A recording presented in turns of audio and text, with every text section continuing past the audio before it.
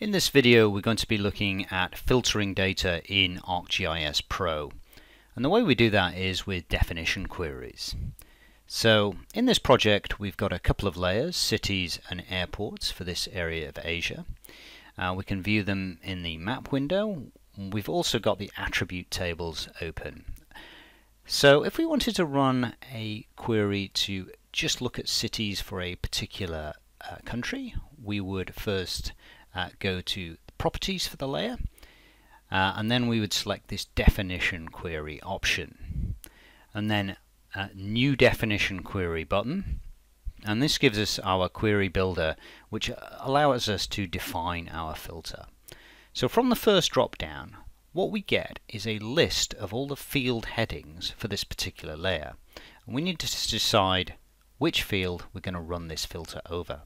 Uh, and in this case we're going to use country name. So we'd select that. Now from the second drop down we get a number of options for the type of filter we're going to run. And in our case we're looking for a specific value so we're going to select is equal to. And then the third drop down gives us a list of all of the values currently in this particular field and we can just pick one and in this case we're going to pick Thailand so show us all the cities that are in Thailand and that is the filter applied and everything else is excluded and we can see that in the map and also in the attribute table. So if we want to run a different uh, a filter we can go back uh, to the properties and we can go back to that same uh, definition query. I'm going to hit the edit button and we can actually um, modify it. So we've got is equal to. So if we change that to is not equal to, so country name not equal to Thailand, and apply that, um, what we now get is everything except that what is in Thailand. So all cities in Thailand are excluded. So in this way we can run a filter however we want. So some of the other options, um, so if we change this to status, for example, and we select contains the text, so we're no longer looking for a specific value, but we're looking for a piece of text. So we type in uh, some text here, enclave, we're going to be returned any cities that have uh, the word enclave somewhere in the value uh, for this particular field that we're running this filter over. And there it is. Now it happens to be at the end um, of the value, but it could be anywhere. So we can just search for um, particular pieces of text rather than just exact values. So again, it depends on the type of filter uh, that you select from the query. So if we go back to the properties now and we're going to edit our uh, definition query once again and this time uh, we're going to select population pop for short and this is a number field. And again just showing a different type of filter. So we're now dealing with numbers.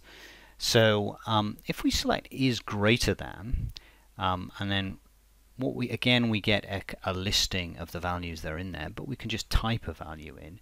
And if we put in 5 million so we're going to look for all cities that have a population of over 5 million and we get 7 cities returned so we can uh, not just look for specific values but with numbers we can look for um, ranges of numbers as well um, so let's go back to our uh, definition query once more. And if we want to add another field to run the definition over, we can use this add clause. And that's going to add another row to our query builder. And we can choose another field to include in our uh, query.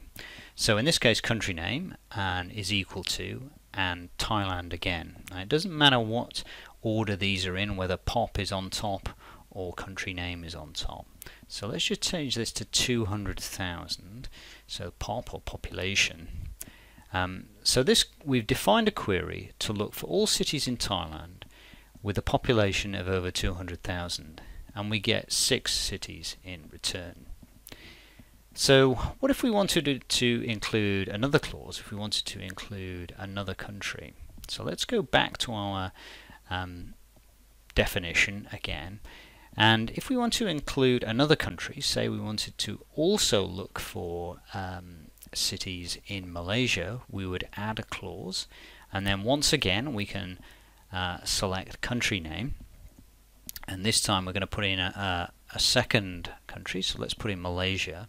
So this definition is looking for all cities over 200,000 in Thailand and Malaysia. However, we're getting zero returns, so nothing has been returned. So why is that? And the reason is this AND here. Um, so let's have a look at the definition query in a little more detail. So looking at that part of the definition, we've got country name equals Thailand and country name equals Malaysia.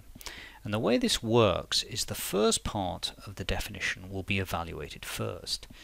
And the item will be evaluated to see if this is true.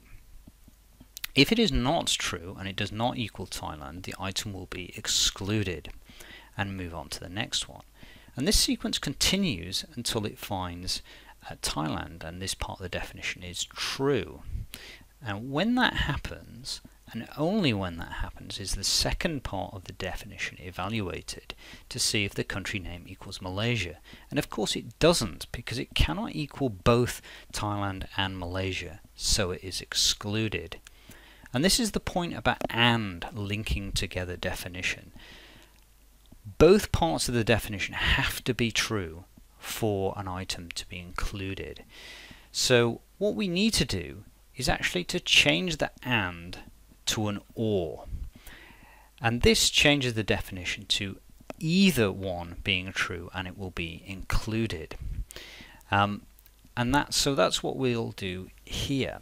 Now sequencing is important, so if we hold down the control key we can select the country name definitions and there's this group icon at the top and that groups them together. So what we have now is pop population greater than 200,000 and and then the country names group. Now the AND between pop and country names is important because if that were an OR then any city over 200,000 regardless of country would be included because remember with an OR any part of the definition is true the item is included. By having an AND between those we mean that both the country names group and the pop need to be true. So if we apply that definition, um, what we'll now get is all cities in Thailand and Malaysia with a population of over 200,000. So we cannot use an AND to link two definitions which are looking for an exact value on the same field. But let's have a look at this airports layer and let's define a definition uh, for this layer um, and explore that. So in this layer we've got a field called built opened and this is a date field um, so if we select that and we get a few different uh, types of filters we can run. Um, and if we select is on or after um, and let's pick the year 1990 so anything 1990 or after. And then on the same field again uh, we'll pick is on or before. And again this these two are linked by an AND um, and then pick the year 2000 so uh, any airports built after 1990 and before 2000 um, and even though we're using an AND here and we'd want to use an AND um, because we're looking for a range and not exact values uh, this will work um, and in fact it gives us uh, four airports are returned. So um, there was actually quite a lot of nulls in that built opened uh, field. So let's explore that a bit more. So let's go back to cities and let's open the properties. And uh, rather than edit the last um, definition query, we're going to create a new one and you can do that. You can have a number of definition queries here. So we select is null and not is equals to null because that won't work. it can't be equal to an absence of value.